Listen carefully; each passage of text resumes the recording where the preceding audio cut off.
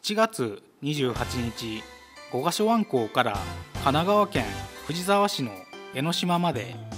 180海里を搬送する国内有数のヨットレースパールレースがスタートしました。当日はスタート時間に合わせて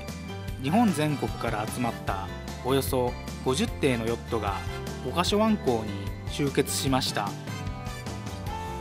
このパールレースは日本セーリング連盟などの共同主催で行われ今年で58回目の開催となります。五ヶ所湾港を出発地としたのは第45回からで毎回白熱したヨットレースが繰り広げられています。この日は戦場でレースの安全祈願と見送りが行われ見学者の方はヨットに手を振ったりしながら応援していました。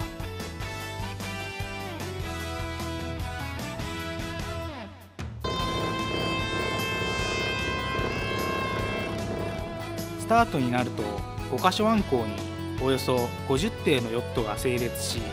一斉にゴールの神奈川県江ノ島を目指しました。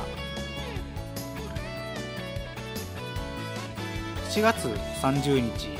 ゴールである江ノ島にヨットが続々と到着し今年のパールレースも無事に幕を閉じました。